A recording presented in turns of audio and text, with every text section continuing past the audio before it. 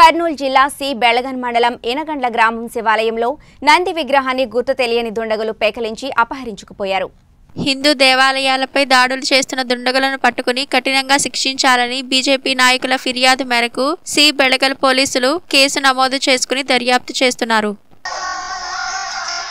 ఈ విధంగా చేస్తే మన పురాతన ఈ శిలాఫలకాలను వెళ్ళిపోతే మనకు ఎందుకంటే వీళ్ళు దొంగ నెంబర్లు పెట్టుకొని ఇట్లాంటి విధవలని మనం ఖచ్చితంగా కటకటాల వెనక వేస్తేనే మనకు ఫలితం ఉంటుంది సార్. ఇది ఇది నా ఇది ఒక ప్రేమ్ కుమార్తో ఇంకొకటి కాదు సార్ ఒక మా భారతీయ సాంప్రదాయం హిందూ ధర్మం సార్ సార్ సార్. సార్. ఈ ఈ పద్ధతి మంచిదేనా? ఆలయాలను ధ్వంసం చేయడం కానీ ఎందుకంటే డిపార్ట్మెంట్లో కొంత గుండెలు ఇయ్యారో వెంకటేశ్వర రెడ్డి. సరే సార్. ఫోన్ చేసి సార్. దీని మీద కొంచెం మీరు సమగ్ర దర్యాప్తు జర- జరిపియండి సార్. ఇప్పుడు ప్రస్తుతం పోలీస్ స్టేషన్లో ఉండి మేము ఫోన్ చేస్తున్నాం సార్. పోలీస్ స్టేషన్లో ఇచ్చాను?